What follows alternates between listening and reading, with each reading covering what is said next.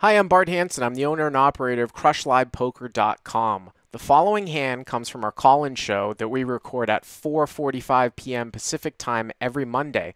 If you want to call in your hand, check out the phone number in the description. I play one three, uh, no limit, Okay. 500 cap Mhm. at Barona Casino. Morongo? Barona. Oh, Barona. Okay. Yeah, I think it's Maria Ho's uh, older uh, stopping grounds. Okay. Um, I am in uh, under the gun. I have about 550 in front of me. Okay. Uh, eight ten of spades. Uh huh. The only villain, only villain in this hand is he's in the small blind. He covers me. He has about 900. Okay. Uh, so the action is uh, I open to 15, Okay. and it goes to the villain who's the only caller. In the big blind. Small blind. In the small blind. All right, I'm going to be repeating you because your volume is pretty low. I don't know if you're on speaker, but if you can talk into the mic a little bit. Yeah, there we go. That's going to be much better. So, How uh, about now? much much better, much better.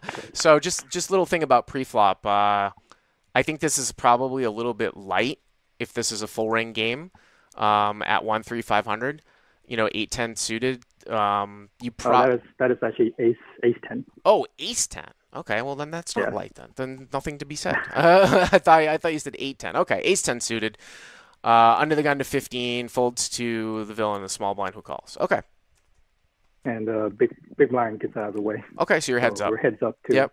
Yeah. The flop comes uh, 10 10 3. It's club, diamond, club. So you flop trip tens. I flop trip 10. Okay, Um, villain leads out into me uh, for 30. He pretty much pots and you guys are five fifty deep, right?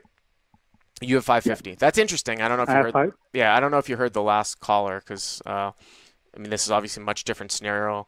Um, you have like in essence the nuts here, right? Um, with ace ten. Uh, I mean, I guess occasionally someone's going to end up with pocket threes, but you're never going to fold, and usually not playing it this way. They're usually going to go for a check raise. The other interesting part of this hand too is is that you block the ten. So not only do you have a very strong hand that beats any other ten, but you also block the fact that the villain could have a 10.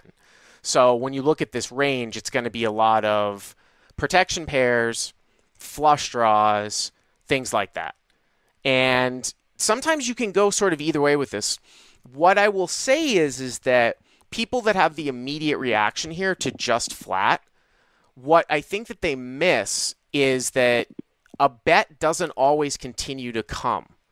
You know what I mean? So if it's like check, if it goes bet and you call, and the guy is always going to check turn and check river, because he's betting pot, right? He's coming out and betting Uh-huh. pot. And if you call here, I don't think he's going to continue to make these protection bets with pairs.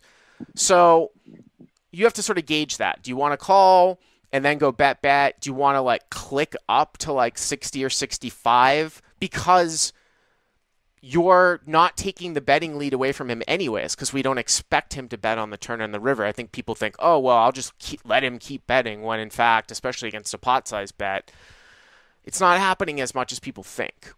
Um, so, I mean, I could sort of go either way with it here. You could call, you could click up tiny to like 65. What did you do?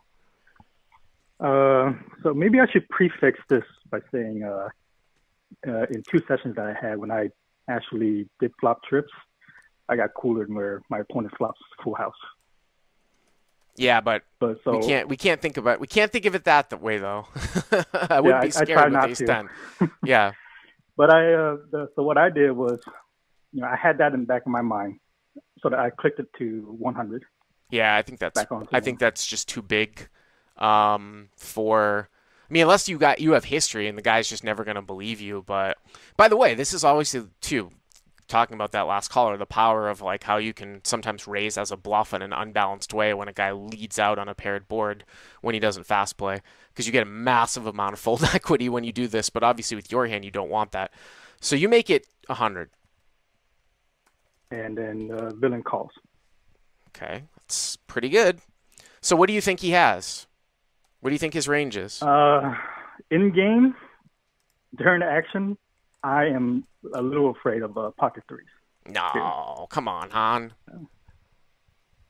I don't know, man. So, yeah, you think mean, he's I- I leading it out I, for? He's gonna lead out for thirty, um, with pocket threes, like re- out with a full house on the flop. I mean, like I said, I guess it's possible, but I would be fist pumping your hand here, unless of course a club comes. um, So what happened on the turn? Turn comes the four clubs. Well, that changes things. that changes things. So when Villain called me, called my raise that big, I'm, uh, I'm, I'm kind of worried. Um, the front door uh, flush gets there, yep. and now he leads into me uh, again for 150. So he bets 150 into a pot of what is now like 230, right? Something like that. Yeah. Mhm. And he's gonna have what 250 left? Is that about right? So when he so So I mean, right, like if it, well, I mean you have two. No, you start with 550. Excuse me. So you have about 420. So you, so you have about if you call, you're gonna have about 270 left, right? So if you Yeah. one leads for 150, you have trips, right, with an ace kicker. It looks like the guy has a club quite a bit. I'm not going to just necessarily fold, though, here, too. And of course, you have equity. You've got full house outs, right? I mean, you've got three, six, nine. You know, you have 10 outs to make a, a, a better hand here. He's betting 150 into a pot of about 230. So you're getting about 2.5 to 1. Um, if he shows you a flush, you need about 3.5 to 1 to call, but you're not always beat here. So I would call and evaluate what he does on the river. What did you do? oh, okay. I'm glad you said that. Okay. Yeah, because I I did call, Yep. did call, and then a my notes here, a three did come off, and it was the three of diamonds. Okay, great. Uh, at the time, I didn't think it was great. Why wouldn't you think it's great? um, well, what what the villain did was he actually led into me again for 200. He led into you Oh. for he led into you for 200 Yeah. and then you have 270 left, right? Yeah. So just just shove. I, I didn't shove. because because he can have a flush here. I mean, I, I know it's low stakes and maybe like a player wouldn't necessarily bet a flush on a paired board. Depend, but he, but you're playing 500 cap and the guy's 900 deep, so I don't know. I mean, I know this. I'm sorry, I said Barona, but if he's any type of player here, like if I'm betting the nut flush draw on the flop, and you call and the turn is a club, and I bet again and you call, why wouldn't I bet the river? I'm just gonna give you a 10 from raising from under the gun. You know what I mean? It looks to me like you've got an overpair quite a bit. Now I know that doesn't necessarily happen. That I mean, at the lower stakes, people get scared, but I mean that's sort of how I would look at it. You got 270 left. He bets 200. If you're gonna say that you get scared because you're, uh, if you're gonna say you're scared because of pocket threes, here's the thing, right? If you're scared of pocket threes, why did you call the turn? And more importantly, there are now less combinations of pocket threes. We talked about how he's not going to play this on the flop like this really all that much. And then if he bets flop with threes, you raise and he calls, is he going to just donk out on a club turn? And now there's only one combo of pocket threes. This is just the fist pump jam here when you have 70 bucks left. So villain one bets 200 and you call. And I just call. And what does he have? I just call because I, uh, to be honest, I just want to be a, maybe a little bit of a showdown monkey. Uh-huh. this over pocket queens. Pocket queens. Yeah. Yeah. So do you feel like you should have shoved the river? Yeah. Okay. Looking back at this hand now, yes.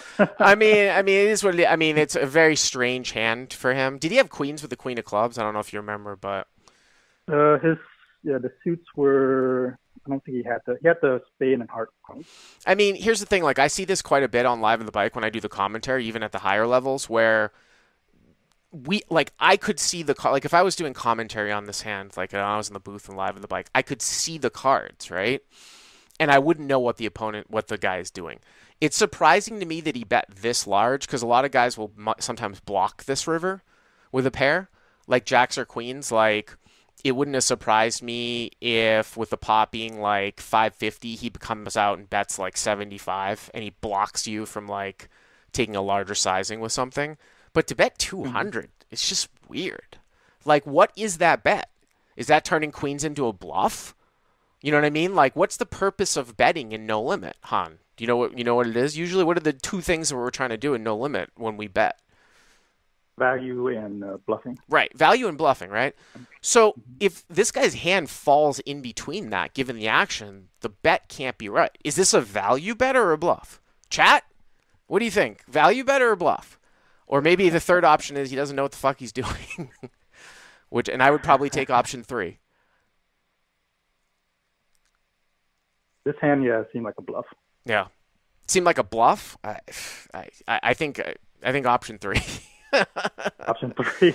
yeah, yeah, option three. I it's just, uh, it's, it's bizarre. Um, but yeah, you can't be scared of monsters under the bed. And um, if he's betting this way with queen queen, then he should be betting this way with a flush, right? And I think you might get. I don't know if you're going to get called the extra seventy by queen queen but you're probably going to be called by a flush just because the guy's incapable of bet folding. So, uh, Han, thanks for calling in.